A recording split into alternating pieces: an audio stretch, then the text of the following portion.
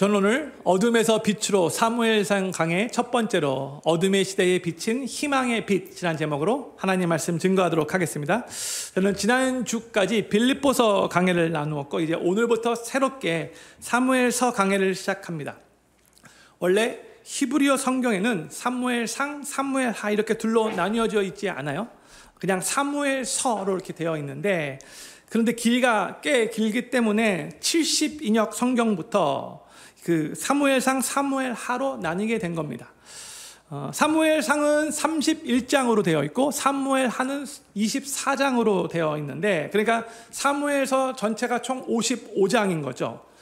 저는 오늘부터 시작하여 앞으로 사무엘서 말씀을 주일마다 나눌 예정입니다. 어, 어, 빌립보서가 총 4장으로 되어 있었잖아요. 근데 저희가 25주를 나누었어요. 네, 사무에서는 총 55장인데 만약 같은 속도로 나간다면 몇 주를 제가 설교해야 될까요?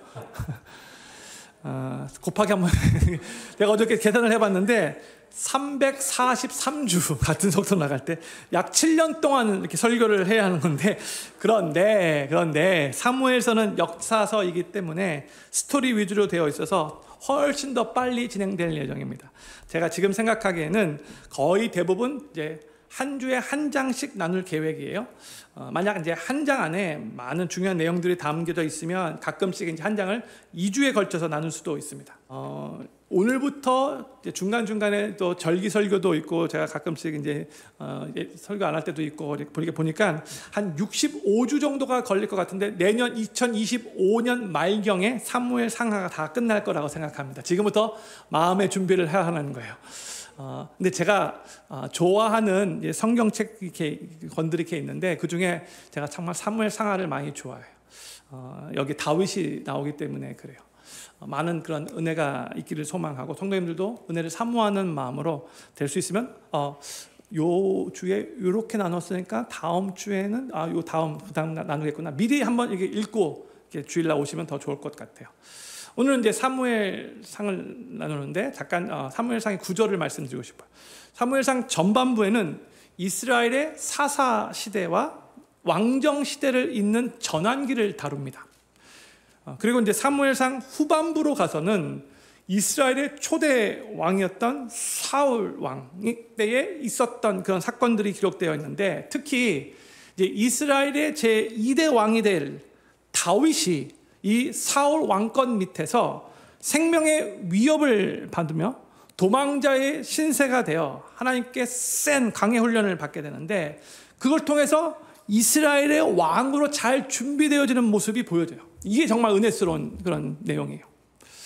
그리고 이제 사무엘상의 맨 마지막 장이 31장인데 이스라엘 초대 왕인 사울 왕의 죽음을 통해서 이 사무엘상이 맞춰지게 돼요. 어, 이게 짧은 사무엘상 구조인데 그러면 이 사무엘상은 어떠한 배경으로 시작되는가? 사무엘상은 사사 시대의 끝자락을 배경으로 하고 있어요. 이 사사 시대의 특징이 무엇인가? 사사기를 보면은요, 사사기 맨 마지막 장의 맨 마지막 절이 사사 시대를 한마디로 요약하고 결론을 맺으면서 사사기를 끝내는데, 우리 한번 21장 25절 말씀, 우리 같이 읽도록 하겠습니다. 시작. 그때에 이스라엘의 왕이 없으므로 사람이 각각 그 소견에 옳은 대로 행하였더라 했어요. 여기에 보면 그때 이스라엘의 왕이 없다라고 말을 하고 있죠. 원래 이스라엘의 왕은 누구인가? 바로 하나님이에요. 하나님이 이스라엘의 왕이세요. 그래서 이스라엘은요, 다른 나라들과 같이 왕 제도가 필요 없었던 나라예요. 왜냐? 하나님께서 친히 이스라엘을 다스리는 왕이 되시기 때문에 그래요. 왕 제도가 필요 없었던 나라예요. 그럼에도 불구하고 사사기는 그때의 이스라엘의 왕이 없으므로 라는 그런 서글픈 결말로 결론을 짓죠. 이 말은 뭘 의미하는가? 하나님이 이스라엘의 왕이 되시지만 이스라엘 백성들이 하나님을 왕 대접하지 않았던 시대라는 거예요. 그래서 그 시대는 사람들이 각각 자기의 소견에 오른 대로 행했던 시대였고요. 하나님의 말씀의 원리도 하나님의 말씀의 그 기초도 하나님의 그 말씀의 기준도 전혀 없었던 시대예요. 그래서 이스라엘 백성들은 하나님을 별로 찾지도 않았어요. 하나님 말씀과 무관하게 자기들 마음대로 막 살았어요. 하나님의 말씀이 그 삶의 기, 준이 전혀 되지 않으니까 윤리도 엉망이고 도덕도 엉망이었고요. 다 자기들 마음대로 막 살면서 아, 이것을 당연한 거로 여겼던 시대가 바로 사사 시대예요. 그래서 사사 시대를 이스라엘 구약 역사 중에 가장 어두웠던 암흑기 중에 암흑기라고 말을 해요. 제가 이번에 빌립보서 강의를 마치고 사사기 강의를 시작할까 하다가 읽어보는데 너무나 마음이 무거워요. 계속해서 부정적인 얘기가 계속 나오니까 너무 힘들어요. 그래서 그 다음 사무엘서를 결정했는데 어, 바로 이 암흑기였던 사사 시대 끝자락에 하나님의 놀라운 그 회개 운동과 영적 각성과 부흥을 일으키는 데에 귀하게 쓰임 받는 하나님 사람 하나가 등장하는데 그게 누구인가? 바로 사무엘입니다. 사무엘. 그래서 저는 이 사무엘상 강의 소재를 또 뭘로 할까 이렇게 고민하다가 어둠에서 빛으로 라고 이렇게 정했어요. 어둠에서 빛으로. 저 한번 따라 주시면 감사하겠습니다. 어둠에서 빛으로. 영어로 하면 from darkness to light죠. 어, 어떻게 영적으로 그렇게 캄캄했던 암흑기 중에 암흑기였던 사사 시대에서 그 놀라운 회개 운동과 영적 각성과 부흥이 일어났는가? 또한 어떻게 하나님 나라의 그 모형, 그림자라고 할 수 있는 하나님 나라의 모형, 그림자라고 할 수 있는 게 바로 다윗 왕국이거든요. 다윗 왕국 시대가 어떻게 이 지금 이 캄캄했던 이 사사 시대부터 준비되어졌는가? 어떻게 그 캄캄한 어둠에서 이 이스라엘이 그래도 정말 빛을 발하는 그런 나라로 그렇게 세워지게 되었는가? 이 사무엘상 강해를 통해서 저희가 은혜를 나누면 같이 보게 될 거예요. 오늘 저희는 이제 사무엘상 1장 내용을 나누는데 1장도 전반부 내용을 나누는데 다음 주에 후반부 내용을 나눌 거예요. 어, 사무엘이 사무엘이 태어나기 전에 일어났던 사건을 이제 오늘 본문 말씀이 다루고 있는 거예요. 먼저 사무엘상 1장 1절을 다시 한번 읽어보기를 원합니다. 같이 읽겠습니다. 시작. 에브라임 산지 라마 다임 소빔에 에브라임 사람 엘가나라 하는 자가 있으니 그는 여로함의 아들이요 엘리우의 손자요 도우의 증손이요 숲의 현손이더라 했어요. 지금 족보가 나오고 있죠. 엘가나라는 사람의 족보예요. 근데 이 족보에 나오는 이름들이 다 우리에게 낯설은 이름이에요. 그렇죠? 이제 엘가나 위로 이제 사대 그러니까 이런 사람들이 쭉 나오 이름이 나오는데 어, 잘 몰라요. 모르는 사람들이죠. 근데 이 엘가나는 누구인가? 바로 이 사무엘의 아버지이고 그다음에 한나의 남편인 거죠. 근데 이 사무엘상 1장 1절에서 이 엘가나를 에브라임 사람 엘가나 이렇게 소개를 하고 있잖아요. 어, 성경 퀴즈대회에서 이 엘가나는 어느 지파 출신인가 하면 많은 사람들이 에브라임이라고 이렇게 생각을 해요. 사무엘은 어느 지파 출신인가? 요 1장 1절 때문에 에브라임 지파 출신이라고 생각해요. 근데 아니에요. 이 엘가나 사무엘도 그렇고 둘 다 다 레이 지파 출신이에요. 레이 지파 사람이에요. 어떻게 우리가 아는가? 어, 역대상 1장부터 9장을 보면은요. 이스라엘 지파의 족보들을 쭉 나열하고 있어요. 성경 읽기 할 때 그때 참 힘들죠. 이름이 누구누구 누구 나오니까. 그런데 거기 아주 많은 사람들의 이름들이 지파별로 쭉 나열되고 있는데 그러면서 그 족보에 대한 해설도 함께 기록되어 있어요. 근데 역대상 6장으로 가면은요. 이 엘가나의 족보가 또 나오는데 엘가나가 어떤 가문이었는가 그 설명이 여기 나와요. 첫째, 이들은 레이 지파 출신이다라고 말하고 있고요. 둘째, 이들은 제사장 가문 사람이었다라고 말하고 있고요. 셋째, 이들은 제사장 중에서도 성막 앞에서 하나님을 찬양하는 직분으로 세워진 찬양대 집안 사람들이었다라고 알려주고 있어요. 그런데 역대상 6장에서는 이 엘가나를 레위 지파 사람이라고 말하는데 왜 오늘 본문 사무엘상 1장 1절에서는 에브라임 사람이라고 이렇게 말을 하고 있는가? 이건 배경 지식이 필요한 거죠. 레위 지파는 땅을 정복할 때 가나안 땅을 정복한 다음에 땅을 기업으로 받지 않았죠. 그렇죠? 원래부터 하나님의 뜻이었어요. 어, 레위인들은 땅을 분배받지 않고 다 열두 지파의 각 성으로 흩어져서 각 지파 사람들에게 하나님의 말씀을 가르치며 영적 리더의 역할을 감당해야 했어요. 그렇죠? 그래서 이 엘가나 가문은 레이 지파 출신인데 에브라임 지파 땅에 와서 거기서 영적인 리더의 역할을 감당하며 살아야 했던 것이죠. 그러니까 이 엘가나 가문은 이스라엘 백성 중에서 신앙적으로 본이 되어야 할 신앙의 명문 가정 집안이었고 아주 구별된 가문이었다는 거죠. 그렇죠? 레이 지파, 제사장 가문, 또 하나님 찬양하는 집안. 그렇죠?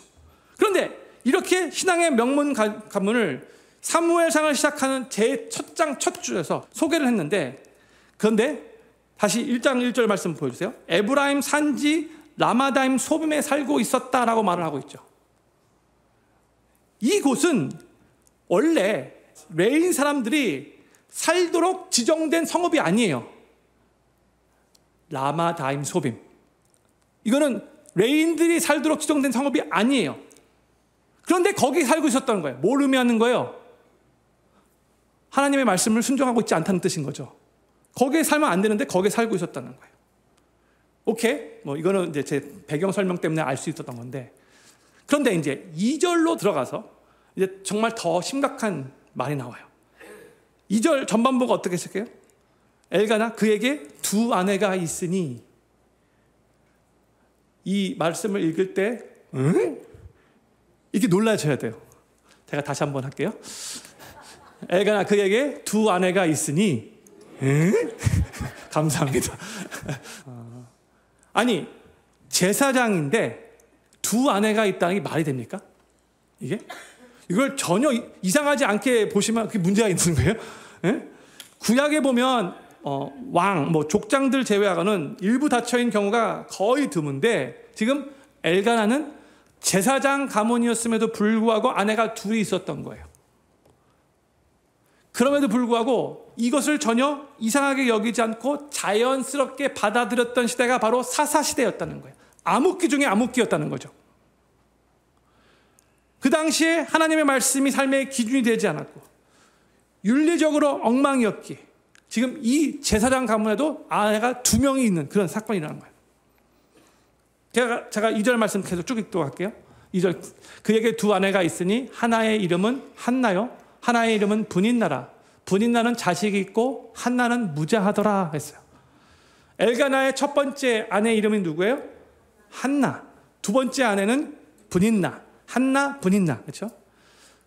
성경에서는 이름이 나오는 그 순서가 곧 서열을 말해 준다라고 말씀드렸죠. 이 순서가 중요한 거예요. 근데 첫 번째 아내가 한나였기 때문에 2절 전반부에서는 한나를 먼저 소개해요. 그 다음에 두 번째 아내가 분인나라가 알려졌어요. 그런데 같은 절 안에서 2절 후반부로 가서는 이 서열이 바뀐 것을 우리들에게 알려줘요. 뭐라고 말해요? 예? 분인 나는 자식이 있고 한나는 무자하더라. 이름의 순서가 바뀌었죠. 먼저 분인나가 소개되고 있죠. 분인나는 자식이 있었지만 한나에게는 자식이 없었기 때문인 거예요. 엘가나는 한나를 사랑하고 있어도 두 번째 아내를 얻은 제사장 가문 사람이에요. 왜 그랬는가? 그 이유는 뭐 그 당시 둘째 아내를 얻는 것을 자연스럽게 받아들였던 시대였기 때문에 그런 것도 있지만 또 엘가나는 자신의 첫째 아내 한나가 불임이라서 그의 가문이 자기 대해서 끊어지는 것을 원치 않았기 때문에 두 번째 아내를 주어서 가문을 이어가고 싶었던 거죠. 예전에 우리 조선 시대 때도 양, 양반 가문이 그랬듯이.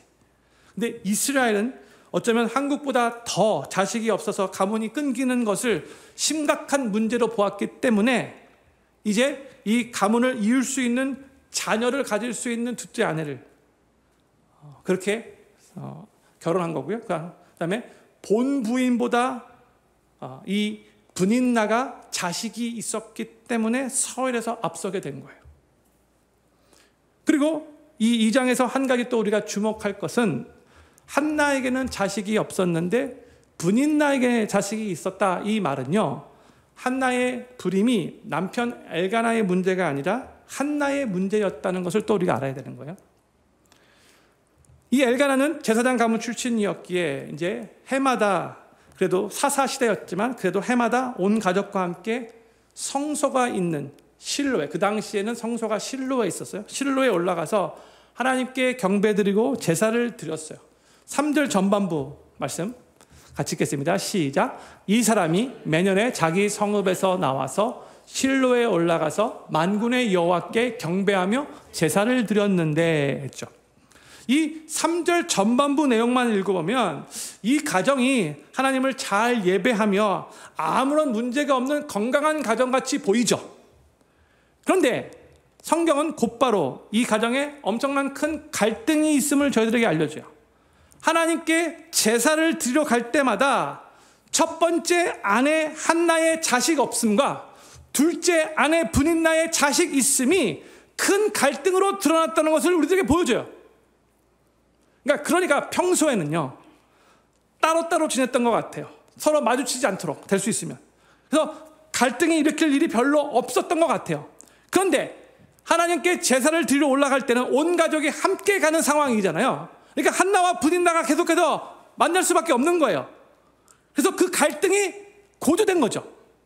이 둘의 갈등의 원인을 4절부터 6절에서 설명해 주고 있는데 제가 천천히 읽겠습니다. 엘가나가 제사를 드리는 날에는 재물의 분깃을 그 아내 분인나와 그 모든 자녀에게 주고 한나에게는 갑절을 주니 이는 그를 사랑함이라. 그러나 여호와께서 그로 성태치 못하게 하시니 여호와께서 그로 성태치 못하게 하심으로 그 대적 분인 나가 그를 심히 격동하여 번민케 하더라 했어요. 4절 말씀 다시 비춰주세요. 이 갈등의 원인이 1차적으로 어디에 있었는가?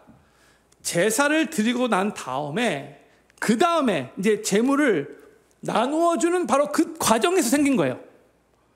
엘가나는 분인나와 그의 아들들과 딸들에게 보세요. 여기 영어로 보면 더 확실하게 알 수 있어요. Her sons and daughters.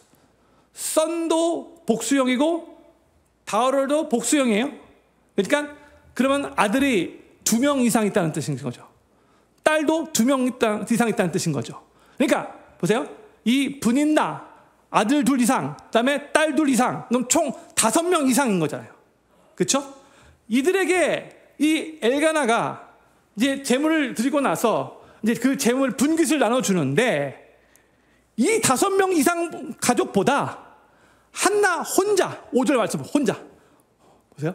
한나에게는 갑절 두 배를 더 줬대요. 한 사람에게는 두 배를, 다섯 명보다 더 두 배를 더 준 거예요. 그러면 질문하겠습니다. 형님들 분인 나예요, 지금. 이 상황에서 기분이 좋아요? 나빠요? 나쁘죠! 당연히 나쁘죠! 에? 자식들에게도, 야, 우리 이거밖에 못하냐? 어? 우린 다섯 명이 넘는데, 정확하게 숫자는 모르겠어요. 근데 적어도 다섯 명 넘는. 너무 서글펐겠죠? 그쵸? 그래서 그래서 너무나 기분이 나쁘기 때문에 의도적으로 더 이 한나를 괴롭힌 거예요. 6절 말씀 보여주세요. 6절 말씀. 근데 이 분인나 앞에 분인나를 소개하는 단어가 뭐예요? 대적. 한나의 대적 분인나. 이게 말해주고 있어요. 그리고 그를 심히 격동시켰대요. 그냥 격동 심히 너무나 화나니까 아니 우리 다섯 명 넘는 가정에는 반밖에 안 줘? 저 한 명한테는 두 배나 주고 우리보다 그래 더 의도적으로 심히 격동하게 만들었다는 한나를 그러면서 분인나 생각 속에 어떠한 생각이 들었을까요? 지는 애도 없으면서 나는 애가 4명 이상 있는데. 참. 근데 우리보다 두 배를 더 받아? 어이가 없네. 요 마지막은 제 상상입니다. 예? 이런 생각이 분명히 들었겠죠. 이것을 빌미로 계속해서 한나를 심히 격동시킨 거예요. 화나게 만든 거예요. 그리고 이런 일이 그냥 한 번으로 그친 게 아니고요. 매년 하나님께 제사를 드리러 올라갈 때마다 일어나는 연례 행사와 같은 것이었어요. 그런데 성도님들도 정말 이게 목사의 입장으로 안타까운 게 뭐냐면 일이 어떤 세팅에서 일어나고 있는 거냐면 이들이 지금 하나님을 예배 드리는 그 세팅에서 이런 일들이 일어나고 있었다는 거예요. 안타깝죠. 사사시대의 한 모습을 또 보여주는 거예요. 하나님께 예배 드릴 때 정말 올바르게 예배 드리면 어그러진 관계도 회복되는 것이 정상인데 그런데 도리어 하나님께 예배 드리러 가서 그 관계가 더 악화되었다는 거죠. 근데 성경은 한나가 이렇게 분인나에게 수모를 당하는 이유를 5절에서도 그렇고 또 6절에서도 그렇고 반복해서 뭐라고 표현하고 있는가? 여호와께서 그로 성태치 못하게 하시니 영어로 because the Lord had closed her womb. 요 문구가 5절에도 나오는데 똑같이 6절에 또 한 번 반복적으로 나와요. 그 이유가 뭘까요? 결국 한나의 태를 열고 다시는 분은 여호와 하나님이라는 것을 알려주고 있는 거죠. 하나님의 주권하에 이 일이 일어나고 있다는 것을 알려주고 있는 거예요. 그리고 이 한나의 분통한 마음을 해결해 주실 수 있는 분은 오직 하나님 한 분밖에 없다는 것을 암시해 주고 있는 거예요. 하나님께서 그로 성택치 못하게 하신 것이니까 이제 하나님이 성택해 하시면 문제가 해결되는 거죠. 이것을 5절과 6절에서 우리들에게 암시해 주고 있는 거예요. 한나가 매년 분인나로부터 조롱을 받으며 크게 번민을 느낄 때마다 어떻게 반응을 했는가? 7절 말씀 같이 읽겠습니다. 시작. 내년에 한나가 여호와의 집에 올라갈 때마다 남편이 그같이 함에 분인나가 그를 격동시키므로 그가 울고 먹지 아니하니 그랬어요. 계속해서 분인나가 한나를 격동시키니까 한나는 울면서 먹지 않았다라고 하고 있어요. 정말 속당했던 거죠. 식음을 전폐했다는 거예요. 그러면 이제 이 한나를 사랑했던 옆에 있었던 이 남편 엘가나는 울면서 먹지도 않는 이 한나를 보면서 어떤 마음이 들었는가? 그 다음 8절에 우리들이 이렇게 알려줘. 8절 같이 읽겠습니다. 시작. 그 남편 엘가나가 그에게 이르되 한나여 어찌하여 울며 어찌하여 먹지 아니하며 어찌하여 그대의 마음이 슬프뇨 내가 그대에게 열 아들보다 낫지 아니하뇨 엘가나 남편은 지금 한나를 위로하려고 지금 열심히 노력을 하고 있는 게 보여지죠. 괜찮아. 아들 없어도 괜찮아. 내가 당신 사랑하잖아. 내가 당신 사랑하니까 아들 열 있는 것보다 더 낫잖아. 이런 식으로 지금 이 남편 엘가나가 최선을 다해 노력하고 있어요. 지금 한국 드라마 보고 있는 것 같은 느낌 들지 않아요? 그렇죠. 완전 내 8절, 8절 읽으면서 제가 정말 갑자기 K-드라마가 생각이 났어요. 이 8절을 보면 한나를 향한 이 엘가나의 사랑이 아주 지극했다는 것을 우리가 알 수 있는데 그러나 아무리 지극히 사랑해주는 남편이 옆에 있어도 이 한나의 고통은 해결되지 않았어요. 왜 그랬는가? 그 문제는 결국 하나님이 해결해 주셔야 하는 문제였기 때문이었던 거죠. 성도님들에게 질문을 하나 드리고 싶어요. 지금 한나가 매년 울면서 먹지도 않고 슬퍼했던 이유가 정말로 무슨 이유 때문이었는가? 단지 지금 한나가 자식이 하나도 없어서 그 이유 때문이었는가? 성도님 한번 잘 생각해 보고 싶어요. 지금 둘째 아내인 이 분인나가 지금 첫째 본처를 막 의도적으로 조롱하며 심히 격동케 하고 있어요. 의도적으로. 성경에서는 대적이라는 표현까지 사용했어요. 그런데 이게 가능했던 이유가 자식은 본인에게 있지만 저 한나에게는 자식이 하나도 없었기 때문에 그 위세에서 비롯된 거죠. 우리가 그 당시에 이스라엘 사람들의 사고 체계를 이해하는 게 너무나 중요해요. 그 당시 이스라엘 사람들마다 어떠한 생각을 가지고 있었냐면 여자가 만약 결혼을 했는데도 아이를 갖지 못한다. 그러면 다들 어떤 생각을 딱 갖고 있냐면 아 저건 분명히 하나님께 큰 죄를 저질러서 저런 거야. 하나님께서 그래서 저를 저주하고 계시는 거고 저가 하나님께 버림받은 거야. 다들 자동적으로 다 그런 생각을 다 가진 거예요. 그게 그 당시 이스라엘 사람들의 사고 체계 안에 있는 생각이에요. 그 그렇기 때문에 분인나가 둘째 아내인데 첫째 아내를 그렇게 강력하게 격동시킬 수 있었던 거예요. 그리고 그 앞에서 한나도 어쩔 수 없이 그냥 가만히 있을 수밖에 없었던 거예요. 괴로움 당하면서. 분인나가 계속해서 한나에게 조롱하는 거죠. 당신은 틀림없이 당신 큰 죄를 하나 앞에 졌기 때문에 벌을 받고 하나님께 저주받고 하나님께 버림받은 거니까 자식이 없는 거예요.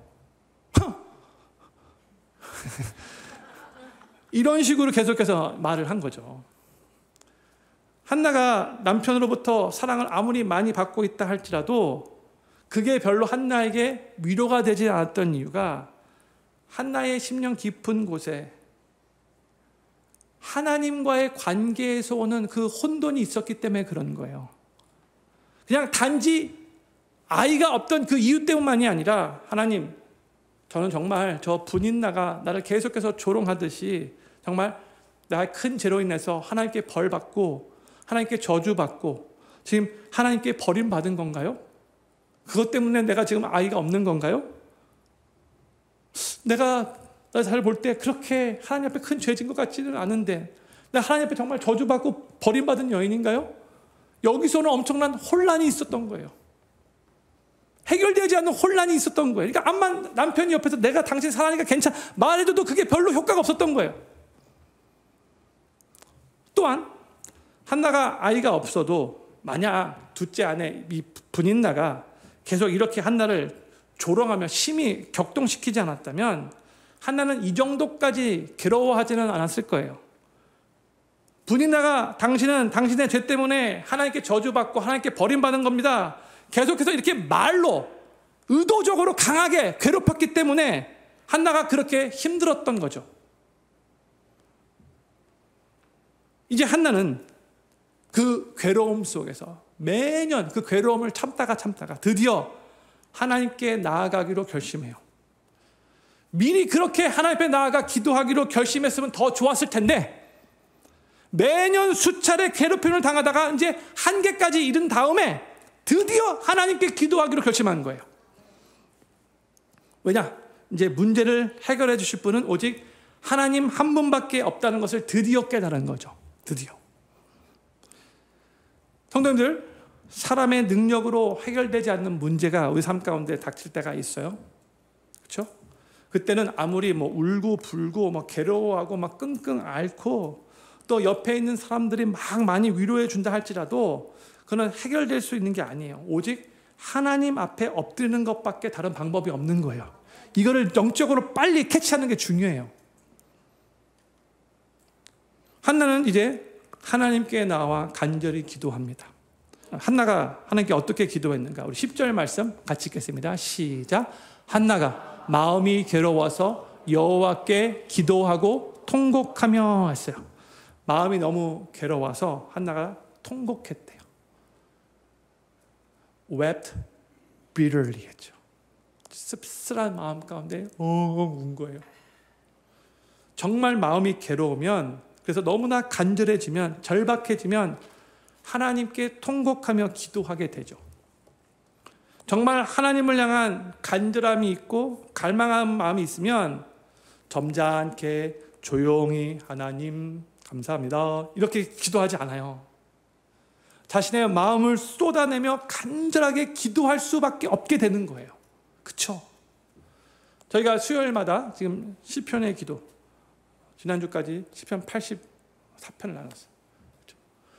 쭉 시편 전반부에 다윗이 큰 위기 가운데 하나님께 울부짖었던 시편들을 우리가 그동안 많이 나눴어요. 이게 왜 다윗도 그렇게 하나님 앞에 울부짖었는가? 왜요? 다윗도 아는 거예요. 하나님밖에 자신의 문제를 해결해 주실 분이 없다는 것을. 그래서 마치 어린 아이가 큰 위기 가운데 울면서 부모님께 요청을 하는 것과 마찬가지, 도움을 요청하는 것과 마찬가지로 다윗도 그 문제의 해결자는 오직 하나님 한 분밖에 없다는 것을 너무나 잘, 잘 알았기에 그 상황에서 어린 아이와 같은 심정으로 우는 마음으로 하나님, 하나님 나 도와주지 않으면 나는 갈 데가 없어요. 하나님 나 좀 도와주세요. 간절하게 울부짖었다는 거예요. 도움을 요청했던 거죠. 저는요, 우리가 하나님 앞에 기도할 때마다 무조건 큰 소리로 통곡하면서 기도해야 한다고 말씀드린 게 아니에요. 그러나 매번 통곡하면서 아주 기도하지 않는다 할지라도 우리가 하나님 앞에 기도하러 나아갈 때는 항상 하나님을 향한 간절한 마음, 갈망하는 마음은 있어야 되는 거죠. 그 마음이 빠지면 안 되는 거예요. 신앙생활을 하면서 언제 간절한 마음이 없이 그냥 형식적으로 기도를 하는가? 언제 그래요? 영적으로 해이해지고 느슨해지고 나태해질 때 그렇죠. 배부르고 등 따스면 그렇죠. 모든 환경이 다 좋게 진행되는 것 같아 보이면 그렇죠. 연약한 우리 인간의 모습이에요. 그래서 저희가 신앙생활 하면서 무엇을 제일 경계해야 하는가?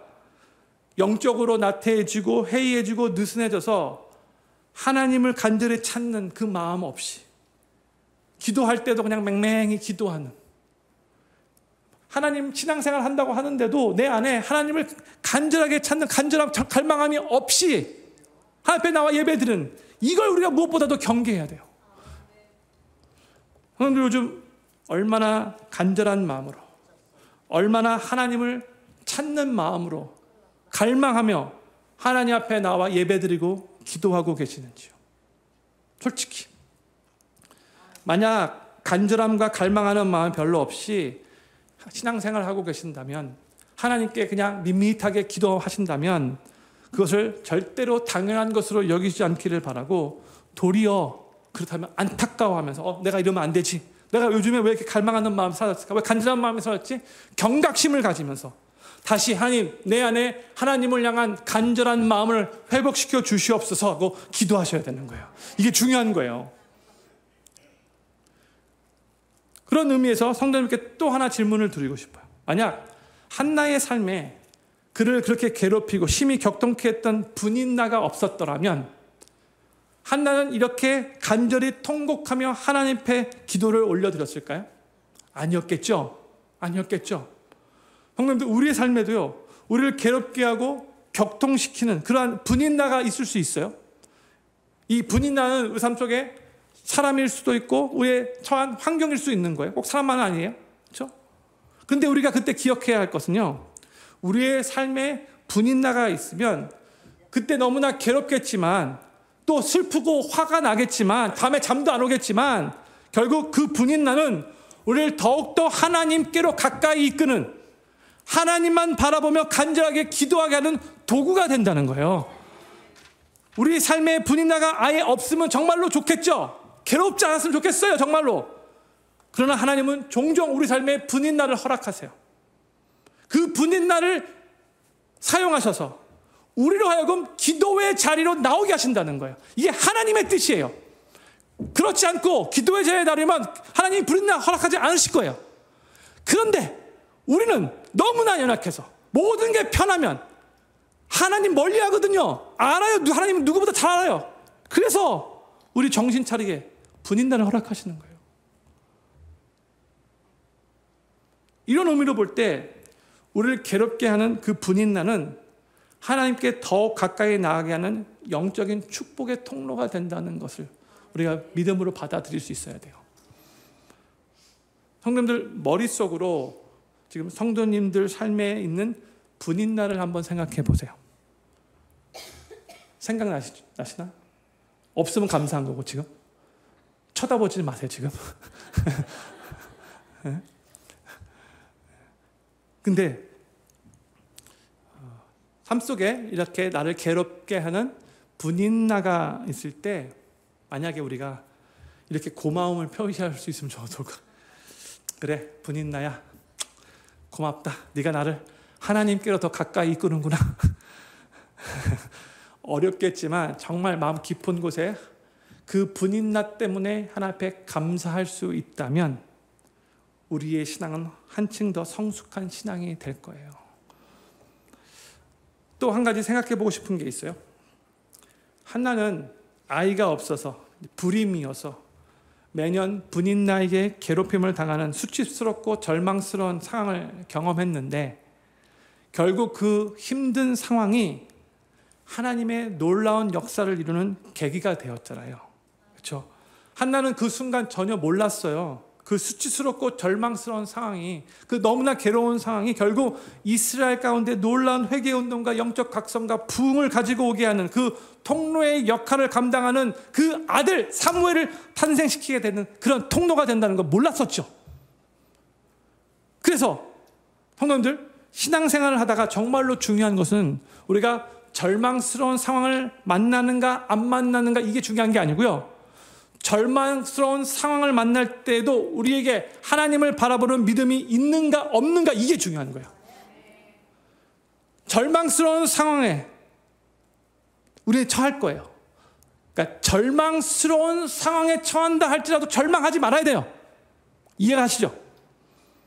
절망, 우리를 절망케 하는 힘든 그런 상황 가운데서도 절망하지 않고 도리어 하나님을 향한 믿음을 가지고 하나님을 여전히 신뢰하고 그 하나님을 붙잡으면 그 상황은 놀라운 하나님의 역사를 이루는 도구가 될 거라는 거예요.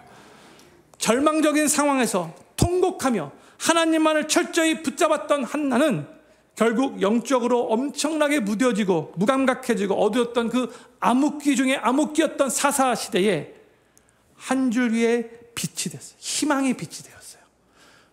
어떻게 보면은 이 한나의 기도를 통해서 그 암흑기, 칠흑 같은 암흑기, 그 사사 시대에 희망의 빛이 비치기 시작한 거죠. 성도님들, 자식 없음보다 더 큰 절망은 하나님 없음이에요. 잘 이해하시면 좋을 것 같아요. 자식 없는 불임보다 더 큰 절망은 하나님이 없다고 생각하는 영적 불임이에요.